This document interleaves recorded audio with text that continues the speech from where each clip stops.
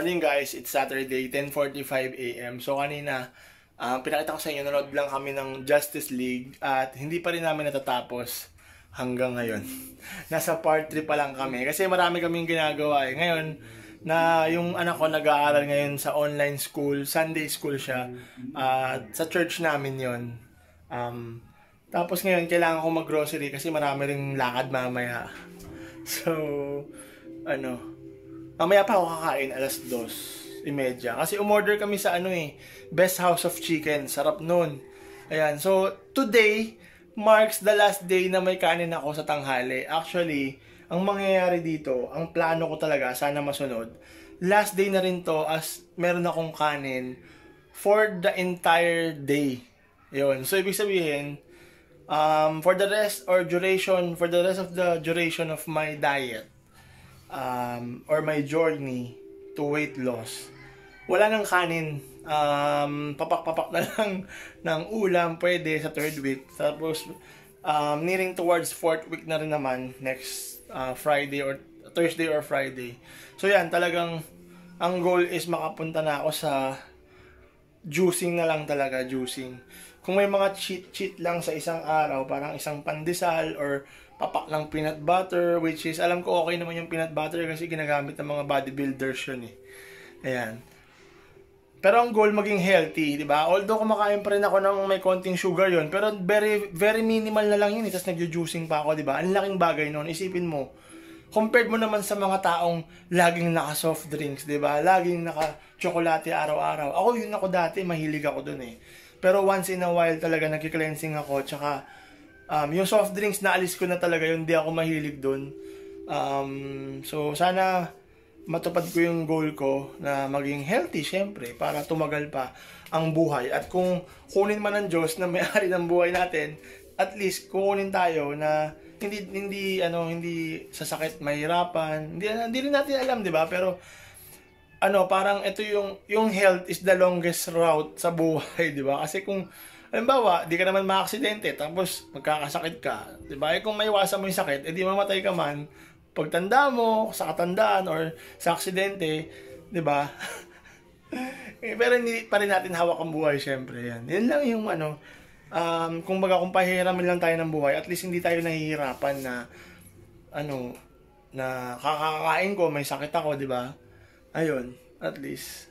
Pagin grocery natin guys, um, hindi ko na napakita sa inyo kasi mahirap ako lang mag-isa dun sa grocery eh. So, Ikaw pumili nito? Oh, yan. Gagamitin ko yung gel for future purposes. Future, ano, events. Para naka-gel naman ako. Tumatanda. Tumatanda na tayo eh. So yan, tapos yan. So, mahaba na yung pila sa grocery pero naka-discarte tayo.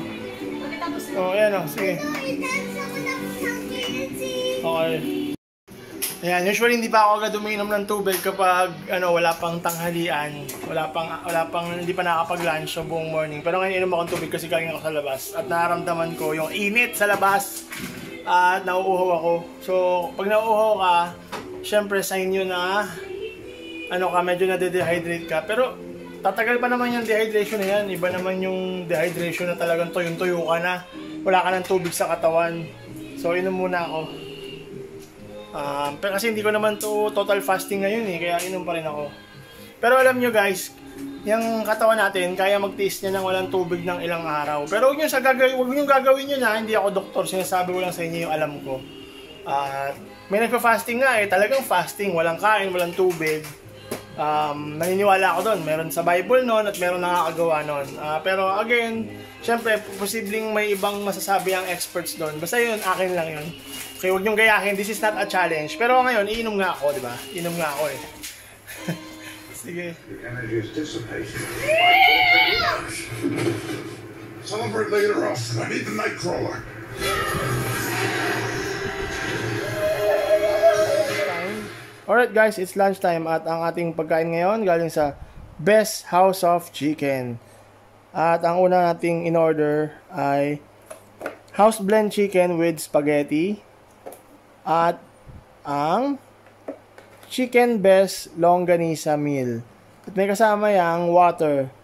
Yan, may kasama yung house blend chicken with spaghetti na Marcid Blue Purified Water. At itong coffee ay kasama sa longganisa meal dahil breakfast meal to.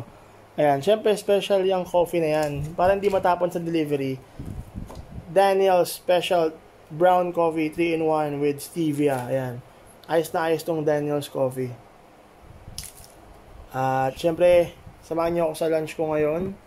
Uh, ito rin yung last day na magkakanin ako eh. So medyo baka marami-rami yung kanin ko today before kami magmamalengke para bumili na maraming juice. Ay, sarap nito. Dito na tayo kumain sa box para hindi sayang sa pinggan, di ba? Talagang maramdaman natin yung take out. Ito, usual naman itong in-order dun eh. So madalas ko itong in-order dun pag nandun ako mismo sa Best House of Chicken, sa Centris branch, tsaka sa Apalit branch. Ito, um, parang twice ko pa lang to makakain ngayon. So, this is the second time na makakain ko to. Ayan. Yung best chicken longganisa. Ayan, meron siyang suka, may kasamang egg, at 4 pieces na chicken longganisa. Ayan. Yung kanin nakabalat para hindi kumalat. Siyempre, as usual.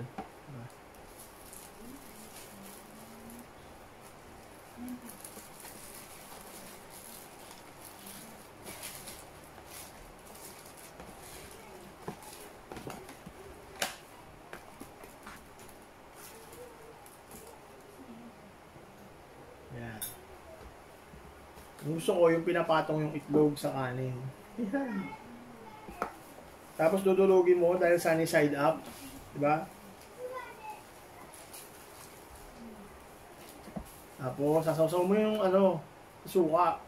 Yung ganisa. Tingnan muna natin na walang rice, ha?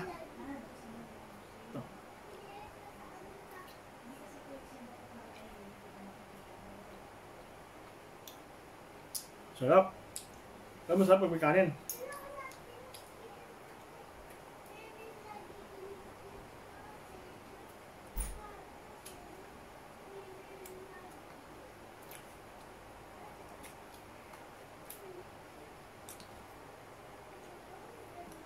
Ito, may suka, may kanin.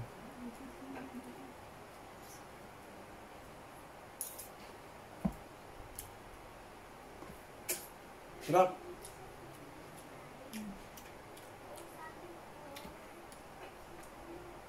Hindi tayo cook, hindi tayo chef, pero mahilig tayong kumain. Kaya, ito naman, yung wala naman suka at walang kanin, tignan natin. Pero same lang yan, yung pinutol ko.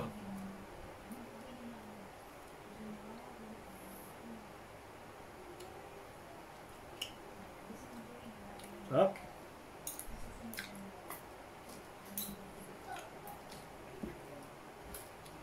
Kainin natin yung egg.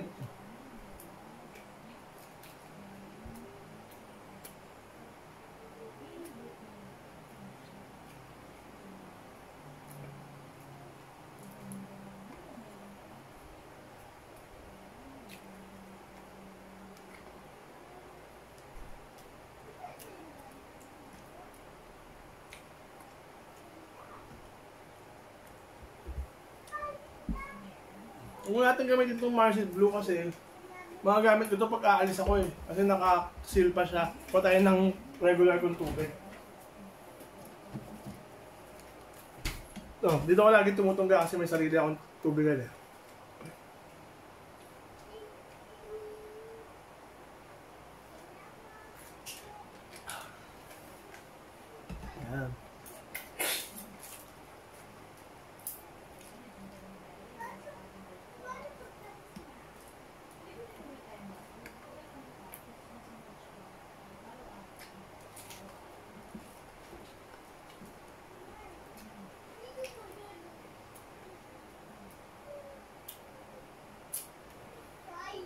Alright guys, kung nyo gagayain to, sasalita ako habang kumakain. Pero, ang sarap talaga. Sarap ng chicken longganisa. Solid to. Hindi, hindi kailangan breakfast lang. Lunch ko ngayon, lunch time. Nakain ko yung best chicken longganisa. So, all day breakfast siya. Ang sarap niya. Hindi ko lang alam kung available siya ma-order kapag tanghali na. Pero, kung kakainin nyo ng tanghali, okay na okay. Kaya na pang umaga to eh. Mga 10 a.m. or 9 a.m. dumating to sa amin. Pina-deliver namin. So, okay na okay pa siya. Malambot lahat, kanin. Sarap pa rin yung chicken longganisa, pati yung egg.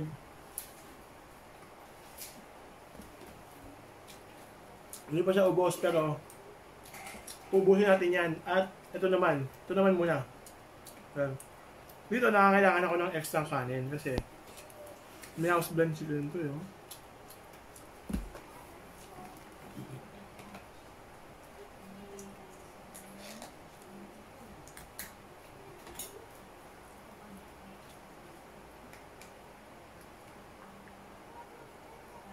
Yan. Although lagi ako kumakain itong spaghetti, papakita ko na rin sa inyo.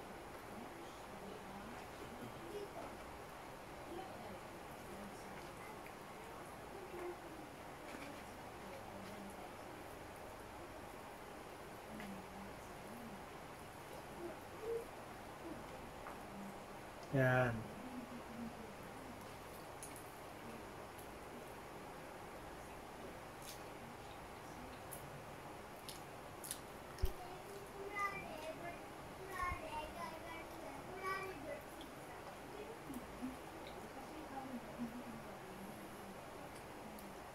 Sarap. The best talaga. Subukan natin haluan ng longganisa yung kanina.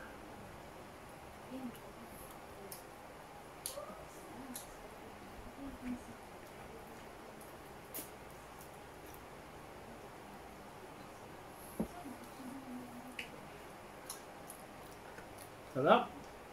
At syempre, yung house blend chicken, ako, sabi nga ni Aga Mulak, laman muna, balat later.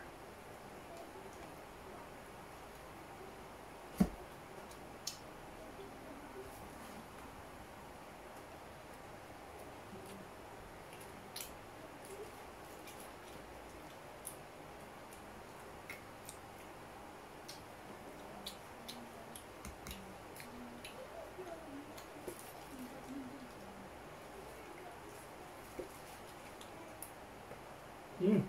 Mm. By the way, kuha tayong rice guys. Sandali lang. ah. Kasi yung in-order ko guys, ano yon House of, ah blend, house blend chicken, tsaka spaghetti. So walang kanin yon Pero, meron ding ma-order na hiwala yung spaghetti at merong chicken at magkasamang rice. Okay? So, pwede rin kayo umorder ng ganon. Ah, meron ding naka-separate yung spaghetti at meron din naman na magkasama yung house blend chicken tsaka yung rice. So, makaka-order kayo ng ganyang meal. At, syempre, yung famous at pinagmamalaki nilang gravy. Solid tong gravy na to. Um, ilalaban ko to kahit saan gravy. Maniwala kayo sa akin. KFC, walang exaggeration. Um, tagal na ako kumakain sa Jollibee, pero lalaban ko to sa Jollibee. Itong gravy na to. At natural, ano to, spices, natural herbs, natural ingredients. Ayan, so, tikman nyo. Bukod sa manok, gravy, patok na patok. Pareho. Parehong the best. Kaya nga best eh, di ba? Alright.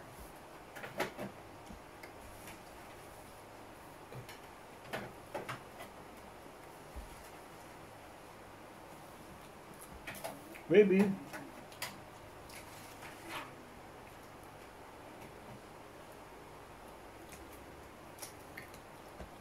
Baby.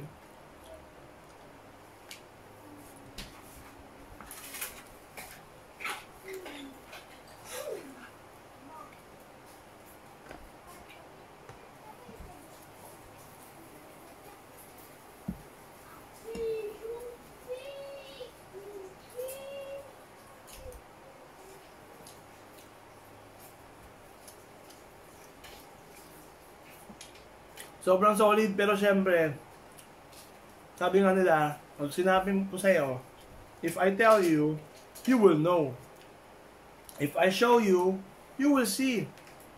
Diba? Pero ipatikim ko sa'yo, you will understand kung gaano kasarap. Kaya order na kayo, Best House of Chicken. Meron silang delivery. Um, meron din silang dine-in, I think. Pasok pa rin yung dine-in nila. Hindi ko alam ngayon sa quarantine um, status natin ngayon.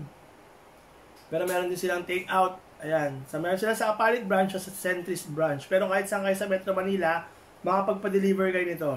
Okay, just um, see their Facebook pages and um, social media accounts. So, thank you sa pagsama nyo sa akin.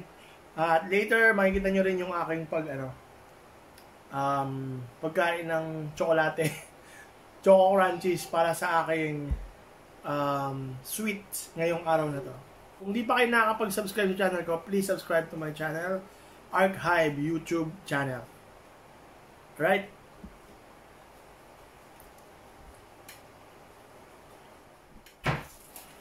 Ito. Cream puff. Kain tayong isa. Pag nabusog na ako dito sa cream puff, bukas na lang yung choco crunchies. Medyo nabubusog na ako eh.